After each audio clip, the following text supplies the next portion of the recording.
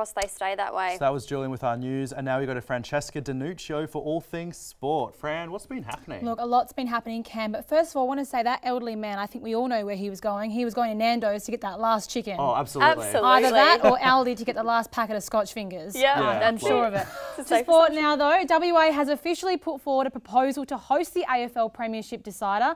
With Melbourne in lockdown until at least September, Optus Stadium is now considered the frontrunner. There are talks of a grand final parade through Perth CBD, as well as a grand final live site at Yagan Square with food, entertainment, and activities.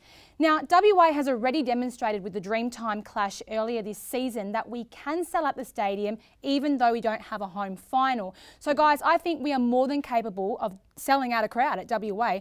What are you guys' thoughts on this? Do we think it's time that little old Perth finally hosts the Golden Grand Final? I completely agree, Fran. I think it's definitely our time. We've definitely waited a very long time for this, and why not?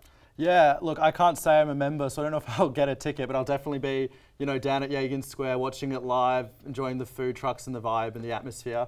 I think it's time. We've hosted a lot of big events. Why not? Why not the final? I agree. For sure. And you know, the state government was also saying things like it'll bring a huge economic boost too. They're hoping that people from regional WA, if we do host it in Perth, will actually come down to Perth or come up to Perth for the game and actually book those hotels, which are suffering during the pandemic too. So And that's the thing. Come and see the city. that's come and it. watch the footy and come, and see, the good city. old Perth.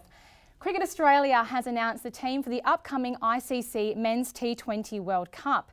Aaron Finch will return from knee surgery to captain the side, with Justin Langer expected to continue to coach despite speculation around his position. WA's Ashton Agar, Josh Inglis, Mitch Marsh, and Marcus Stoinis have also been selected. The seventh World Cup will be hosted in the United Arab Emirates, with the first ball bowled in October. West Coast Fever will take on the Giants in Saturday's Super Netball preliminary final. The Fever are one win away from playing their third grand final in four seasons after defeating Sunshine Coast Lightning 75 to 76. Midcourt Fever star Verity Charles was a standout with 30 goal assists and 50 feeds.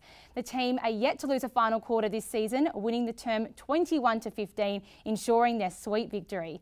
The winner of this weekend's prelim will take on the New South Wales Swifts in the 2021 Grand Final. Ash Barty is back in winning form, taking out her first round match at the Cincinnati Open. She defeated British qualifier Heather Watson in straight sets after a grueling tiebreaker. It was her first tour match since winning Wimbledon over five weeks ago and first since the Olympics. Barty is looking to make it two Grand Slams for the year as she leads up to the US Open. And guys, that's all in sport. That's great. Thank you so much for that sport update, Fran. Now,